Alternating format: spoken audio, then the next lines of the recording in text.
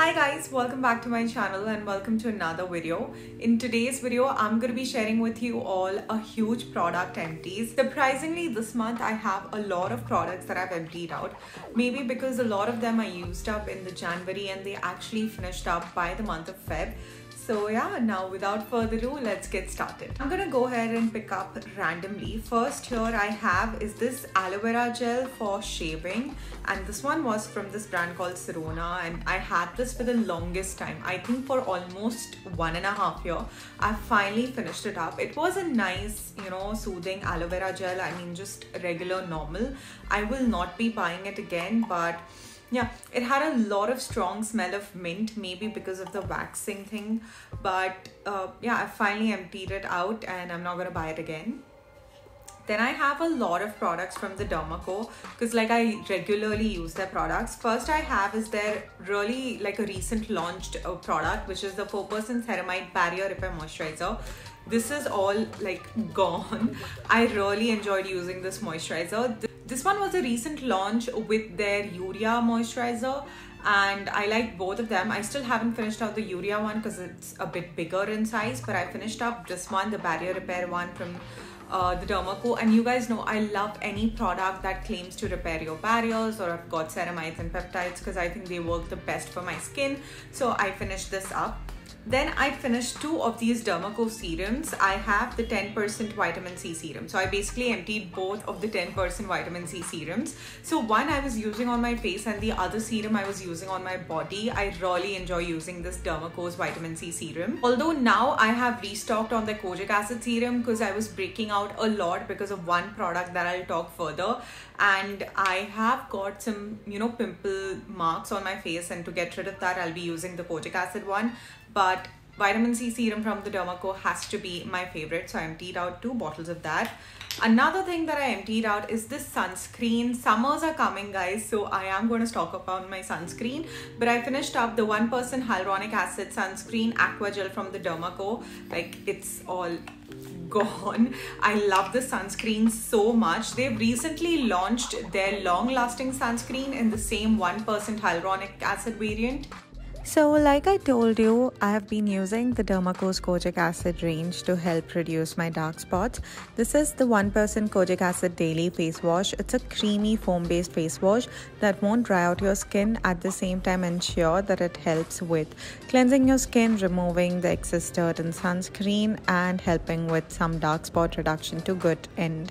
Once I'm done using this, I follow it up with the 2% Kojic Acid Serum.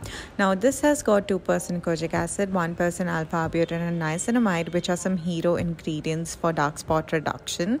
Now, Derma-Co is a brand that believes in no filter, and all of their products are fragrance free. Derma-Co has empowered over 15,000 plus students across the year with the Young Scientist Initiative. Every time you buy from them, they link your order to help educate a child along with Bhumi.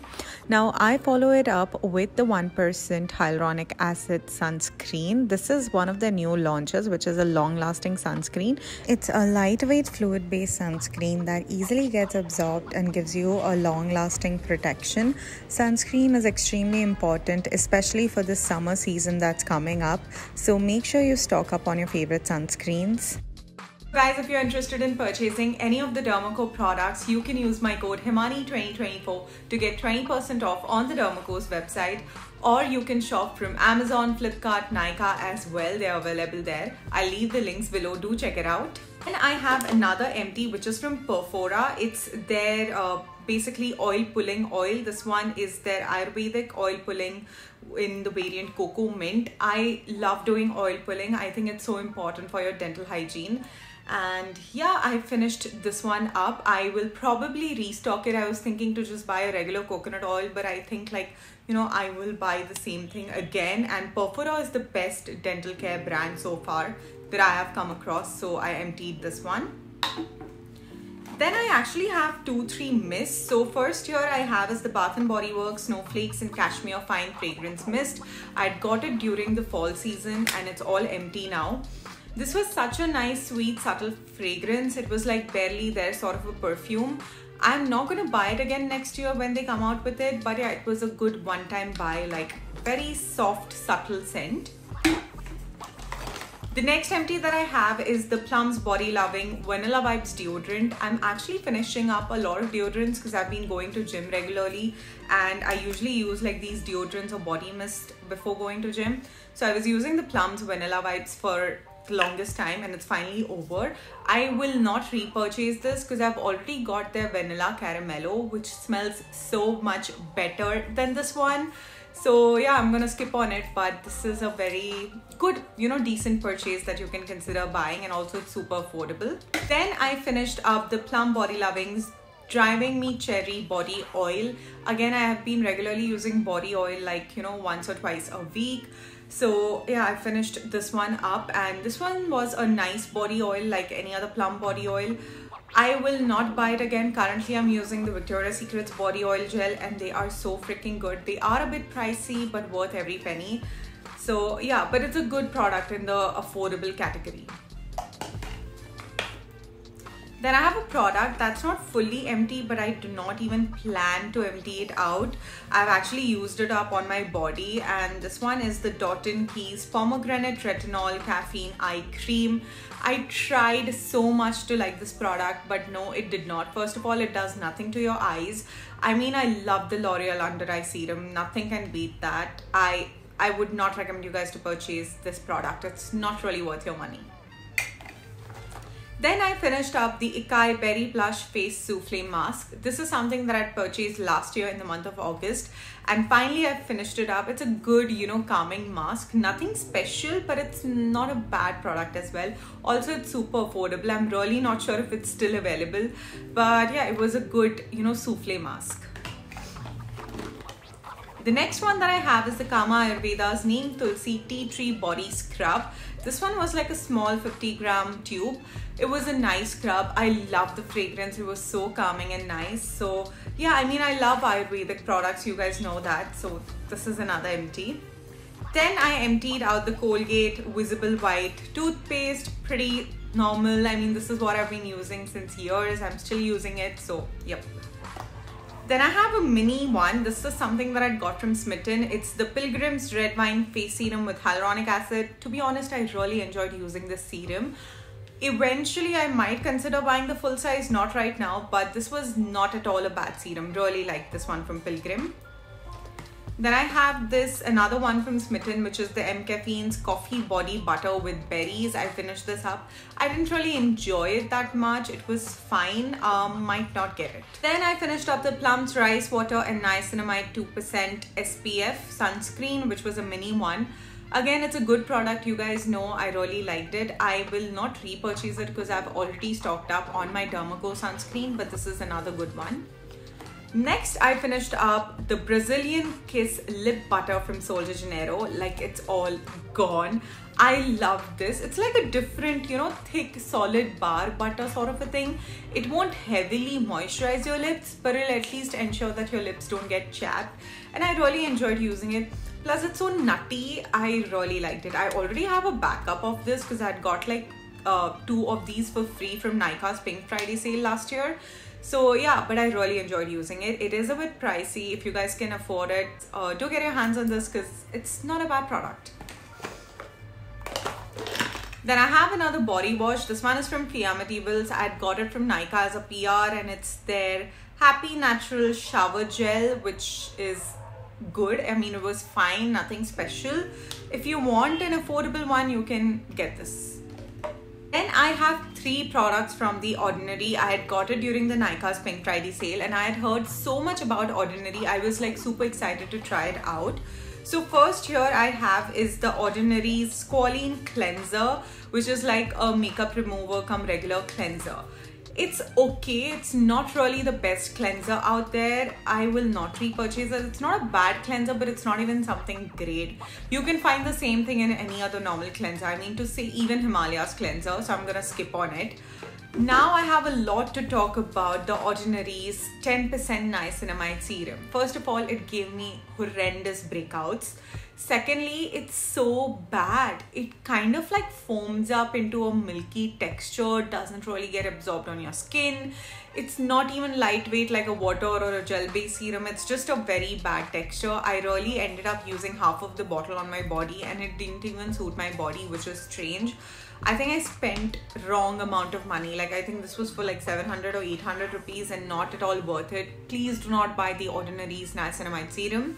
Lastly, I have the Ordinary's Natural Moisturizing Hyaluronic Acid Moisturizer. Again, this one was pilling up. It will like come out as like these solid forms. I used it together with the niacinamide serum still, which is a bit strange and again not at all worth the money. So please skip on it. I think Ordinary really disappointed me. Then I have one of my favorite products which I've already restocked. I'm talking about the Forest Essentials Silken Dusting Powder. It's a very very good like a must have powder and I love it and I really enjoy using it so I've already stocked up on it. I think this is probably my seventh or eighth bottle that I'm getting rid of. Have is the Find Your Happy Place Poolside Pina Colada Body Gel that I finished up. It was a small trial one. It was really nice. It, it smelled like beaches and some pina coladas. I really enjoyed it. Might consider buying it during the summers. Then I finished up the Cosrx Comfort Ceramide Cream. This is very expensive but worth every penny. It's like such a nice soothing ceramide moisturizer. You guys should definitely try this one out. Also, I really like the packaging, so minimal and nice. It's expensive but worth it. Then we have is the Cosrx Aloe Soothing Sun Cream. Again, really enjoyed using it. I finished it up, might restock it during the winters. I've got the Dot & Key Cica Calming Skin Clarifying Toner, which again was lying with me for the longest time. Finally finished it up. It's a very nice toner, especially if you have acne prone skin. Then I've got the Dove's Beauty Finish Moisturizing Deodorant. Again, this deodorant was like the classic. You guys know how much I love Dove deodorants.